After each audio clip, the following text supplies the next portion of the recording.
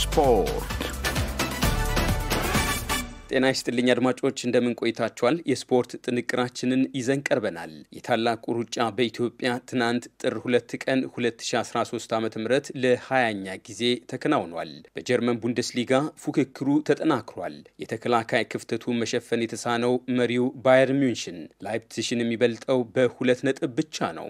አራተኛ ደረጃ ላይ ከሚገኘው ቦሩሲያ ዶርትሙንድ ባየር ሚንሽን የሚበልጠው በአምስት ነጥብ ብቻ ነው። በፕሪምየር ሊጉ መሪው ሊቨርፑል አጣብቂኝ ውስጥ ገብቷል። እስከ ሳምንቱ መጨረሻ ድረስ ምናልባትም የመሪነት ደረጃውን አስረክቦ ወደ ሶስተኛ ደረጃ ሊያሽቆለቆለም ይችላል። አብራችሁን ቆዩም።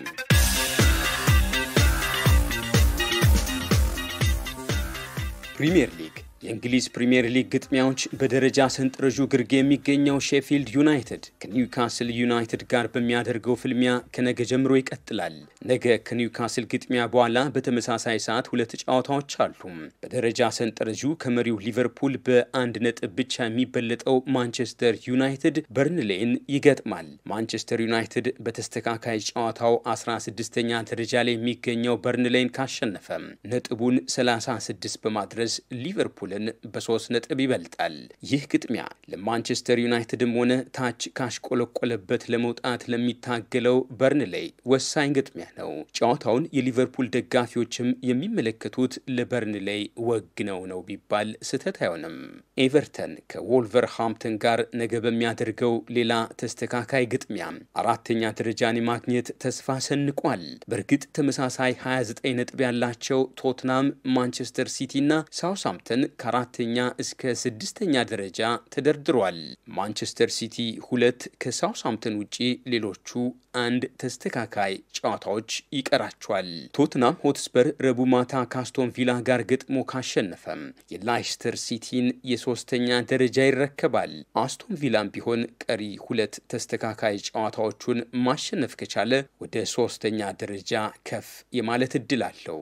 ማንቸስተር ሲቲ ረቡዕ ምሽት ከብራይተን እንዲሁም እሁድ ማታ ከክሪስታል ፓላስ ጋር የሚያደርጋቸውን ተስተካካይ ጨዋታዎች ማሸነፍ ከቻለ በሳምንቱ መጨረሻ ላይ መሪ የመሆን እድል አለው። ማንቸስተር ዩናይትድ የነገውን ግጥሚያ ካሸነፈ ግን ማንቸስተር ሲቲ እድሉ የሁለተኛ ደረጃ ብቻ ይሆናል። ከሁለት አንዱን ተስተካካይ ጨዋታ ብቻ አሸንፎ ግን የሶስተኛ ደረጃን ማግኘት ይችላል። እስከ ሳምንቱ መጨረሻ ድረስ በሚኖሩ ግጥሚያዎች የደረጃ ሰንጠረዡን በ33 ነጥብ የሚመራው ሊቨርፑል ወደ ሁለተኛ እንዲሁም ወደ ሶስተኛ ደረጃም ሊንሸራተት ይችላል። ምናልባት ግን ማንቸስተር ዩናይትድ ነጥብ ከጣለ እሁድ ከሊቨርፑል ጋር የሚኖራቸው ግጥሚያ መሪውን የሚለይ ይሆናል። በአጠቃላይ የሊቨርፑል የመሪነት እድል የተንጠለጠለው በቀጣይ ጨዋታዎች ውጤት ላይ ነው። ላይስተር ሲቲ ከሊቨርፑል በአንድ ነጥብ ብቻ ተበልጦ ሶስተኛ ደረጃ ላይ ይገኛል።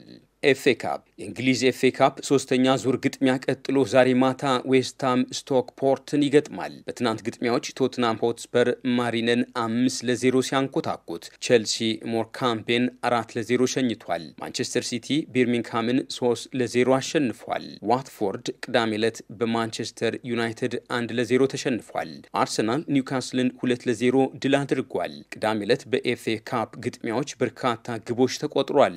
ላይስተር ሲቲ ስቶክን አራት ለዜሮ እንዲሁም ቦርንመስ ኦልሃምን አራት ለአንድ አሸንፏል። ኤቨርተን ሮተርሃምን ያሸነፈው ሁለት ለአንድ ነበር። አርብ ማታ ሊቨርፑል ቪላ ፓርክ ስታዲየም ውስጥ አስቶን ቪላን አራት ለአንድ ድል አድርጓል።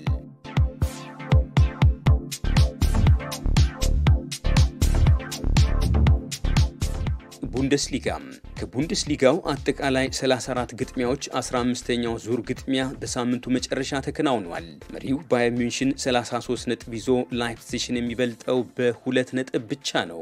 ትናንት ቦሩሲያ ዶርትሙንድ የ3 ለአንድ ሽንፈት ባይገጥመው ኖሮ ላይፕሲሽ የመሪነት ስፍራውን ከባየር ሚንሽን መረከብ ይችል ነበር። ቦሩሲያ ዶርትሙንድ 28 ነጥብ ይዞ አራተኛ ደረጃ ላይ ይገኛል። ባየር ሌቨርኩሰን በአራት ነጥብ ብቻ ተበልጦ ሶስተኛ ደረጃ ይዟል። ኡኒየን ቤርሊን እና ቮልስቡርግ 25 ነጥብ ይዘው አምስተኛና ስድስተኛ ደረጃ ላይ ይገኛሉ። ቦሩሲያ ሚንሽን ግላድባ በ24 ነጥቡ ደረጃው ሰባተኛ ነው። ስምንተኛና ዘጠነኛ ደረጃ ላይ የሚገኙት ፍራይቡርግና ፍራንክፉርት ከመሪው ባየር ሚንሽን የነጥብ ልዩነታቸው የአስር ብቻ ነው። ትናንት በተከናወኑ የቡንደስሊጋ ግጥሚያዎች ከታችኛው ዲቪዚዮን ዘንድሮ ወደ ላይ ከፍ ያለው አርሚኒያ ቢሌፌልድ ሄርታ ቤርሊንን አንድ ለዜሮ አሸንፏል። ሆኖም አርሚኒያ ቢሌፌልድ 13 ነጥብ ይዞ በደረጃ ሰንጠረዡ 15ኛ ደረጃ ላይ ይገኛል። ሽቱትጋርት 76ኛው ደቂቃ ላይ አንድ ተጫዋቹን በቀይ ያጣው አውጉስቡርግን አራት ለአንድ ረድቶ ደረጃውን በአንድ ወደ አስረኛ አሻሽሏል። ቅዳሜ ዕለት በተከናወኑ ጨዋታዎች ኮሎኝ በሰፋ የግብ ልዩነት በፍራይቡርግ አምስት ለዜሮ ተሸንፏል። ከቬርደር ብሬመን ጋር አንድ እኩል የተለያየው ባየር ሌቨርኩሰን ነጥብ በመጣሉ ሁለተኛ ደረጃ የመያዝ እድሉን አምክኗል። ሻልከ የበርካታ ጊዜያት የሽንፈት ሰንሰለቱን በጥሶ ሆፍንሃይምን በሰፋ የግብ ልዩነት አራት ለዜሮ ድል አድርጓል። መሪው ባየር ሚንሽን አርብ ዕለት በቦሩሲያ ሚንሽን ግላድባ የሶስት ለሁለት ሽንፈት ገጥሞታል። ባየርን ዘንድሮ በታሪኩ የተከላካይ ክፍሉ እጅግ ደካማ የሆነበት የጨዋታ ዘመን ነበር። በመጀመሪያዎቹ 15 የቡንደስሊጋ ግጥሚያዎች 24 ግቦች ሲቆጠሩበት ከ39 ዓመት ወዲህ ለመጀመሪያ ጊዜ ነው። በ1981/82 የጨዋታ ዘመን ነበር እንዲህ ሰፊ ግብ የተቆጠረበት። በወቅቱ ባየር ሚንሽን በ15 ዙር ግጥሚያዎች 25 ግቦችን ለማስተናገድ ተገዶ ነበር። ባየር ሚንሽን በዚህ የጨዋታ ዘመን ግብ ያልተቆጠረበት ለሁለት ጊዜያት ብቻ ነው። ሻልከን 8 ለ0 ድባቅ በመታበት የመክፈቻ ጨዋታና ፍራንክፉርትን አምስት ለዜሮ ባሸነፈበት አምስተኛው ዙር ግጥሚያ ብቻ ነበር ባየር ሚንሽን መረቡን ያላስደፈረውም። ባየር ሚንሽን ላይ ከታች ያደገው ቢሌፌልድ እንኳን ግብ አስቆጥሮበታል። በአራተኛው ዙር ግጥሚያ ባየርን አርሚኒያ ቢሌፌልድ ላይ አራት ግቦችን ሲያስቆጥር ቢሌፌልድ የባየርን መረብ ላይ አንድ ግብ ማሳረፍ ችሏል። በተከላካይ በኩል ከፍተኛ ክፍተት የሚታይበት ባየርን ሚንሽን ከተቆጠሩበት 24 ግቦች መካከል 14ቱ ከመጀመሪያው አጋማሽ በፊት ነው የተመዘገቡት። ብዙዎቹ ግቦች የመጀመሪያው አጋማሽ ሊጠናቀቅ 15 ደቂቃ ሲቀረው ነው የተቆጠሩት። በዚህ መልኩ ሰባት ግቦች ተቆጥረውበታል። ባየር ሚንሽን አርብ ዕለት በቦሩሲያ ሚንሽን ግላድባ 3 ለ2 ሲረታም የተከላካይ ክፍተት ሚና ነበረው። ባየር ሚንሽን አርብ ዕለት መሸነፉ የዓለማችን ምርጥ ግብ ጠባቂ ላይም ተጽዕኖን አሳርፏል። የአርቡ ሽንፈት ተደምሮ ማኑዌል ኖየር ባለፉት አስር ጨዋታዎች ቢያንስ አንድ ግብ እንዲቆጠርበት ግድ ብሏል። ከዚህ ቀደም የሻልከ ግብ ጠባቂ በነበረበት ጊዜ እንኳን ማኑዌል ኖየር ላይ እንዲህ ግብ አልተቆጠረበትም። በአርቡ ግጥሚያ ቦሩሲያ ሚንሽን ግላድባ ከሁለት ለዜሮ ተነስቶ ነበር ያሸነፈው።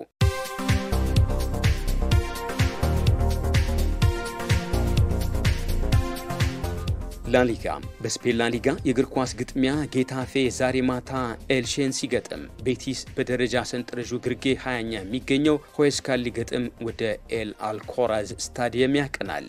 ቤቲስ 20 ነጥብ ይዞ 12ኛ ደረጃ ላይ ይገኛል። ጌታፌና ኤልሼ 17ና 16 ነጥብ ይዘው 17ኛና 18ኛ ደረጃ ላይ ይገኛሉ። በእርግጥ ኤልሼ ሁለት፣ ጌታፌ አንድ ተስተካካይ ጨዋታዎች ይቀራቸዋል። በላሊጋው ሶስት ተስተካካይ ጨዋታዎች የሚቀሩት አትሌቲኮ ማድሪድ በ38 ነጥብ እየመራ ይገኛል። ሪያል ማድሪድ በ37 ነጥብ ይከተላል። ባርሴሎና 34 ነጥብ አለው፣ ሶስተኛ ደረጃን ይዟል። 32 ነጥብ ያለው ቪላሪያል የአራተኛ ደረጃን ተቆናጧል።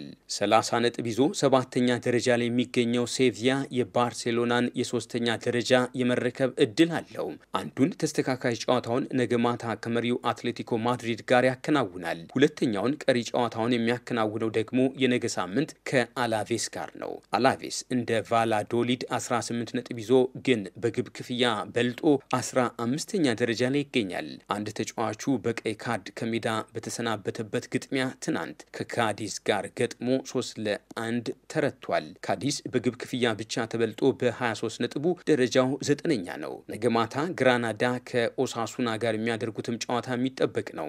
19ኛ ደረጃ ላይ በ15 ነጥብ የተወሰነው ኦሳሱና ከወራጅ ቀጣናው ለመውጣት ግራናዳ ደግሞ ከሰባተኛ ደረጃ ወደ ላይ ጠጋ ለማለት ርብርብ የሚያደርጉበት ግጥሚያም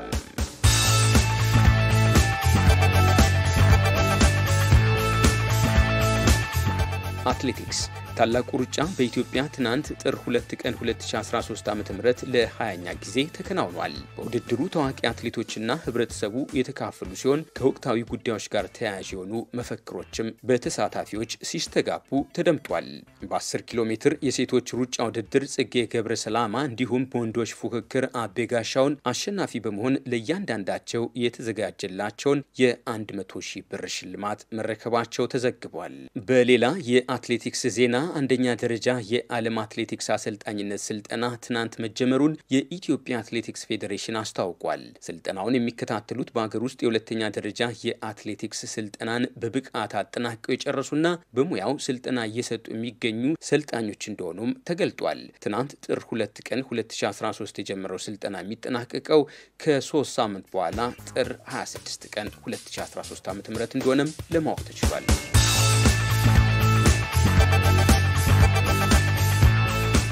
አድማጮች፣ የስፖርት ጥንቅራችን በዚሁ ይደመደማል። ማንተጋፍቶት ስለሺ ነኝ። መልካም ጊዜ። ጤና ይስጥልኝ።